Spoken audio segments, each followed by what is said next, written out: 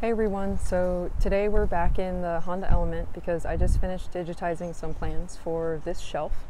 Um, a couple weeks ago I posted a video giving a whole tour of my camper setup and I've gotten a lot of really great feedback, so thank you. Um, some people were interested in plans and it's going to take me a while to digitize all the plans including the bed. So for now I thought I'd start with just this shelf. Um, the rest of this video is mostly going to be design and construction tips.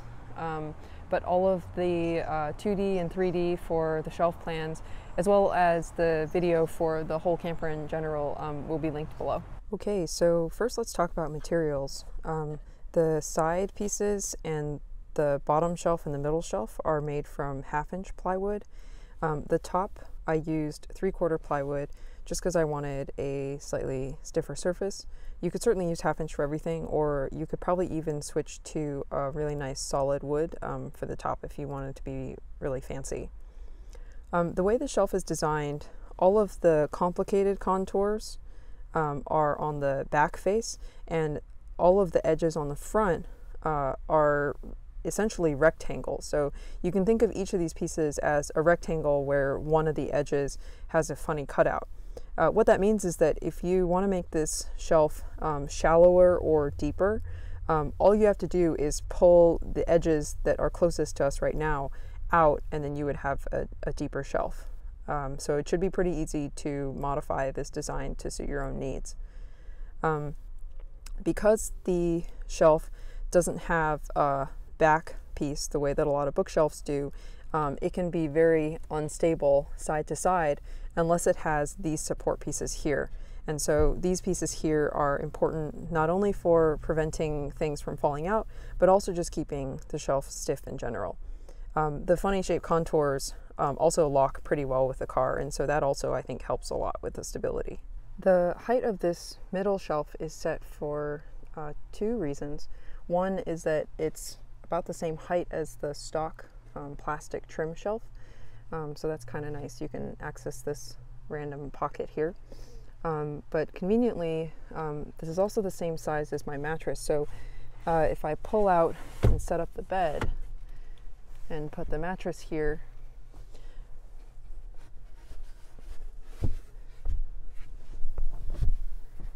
um, you can see that it's this edge of the shelf that is supporting this mattress pad and preventing it from sliding around.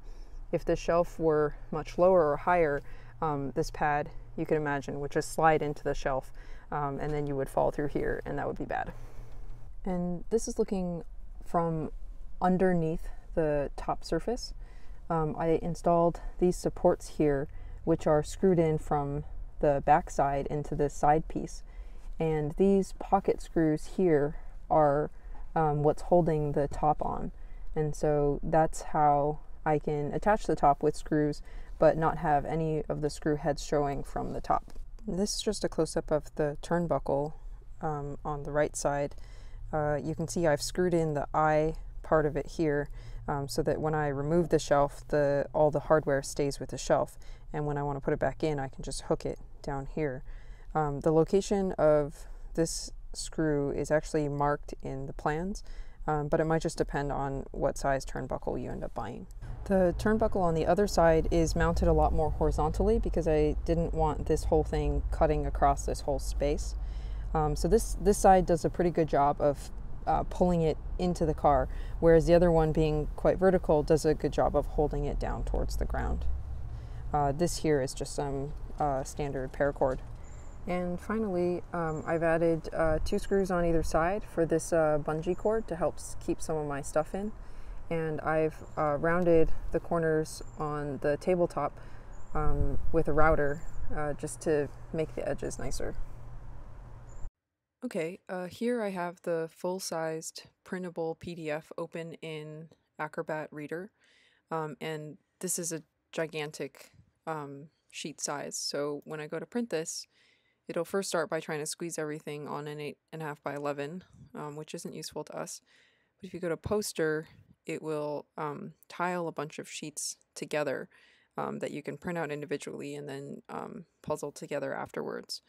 And I think if you add things like labels and cut marks, it'll help um, make that puzzle easier.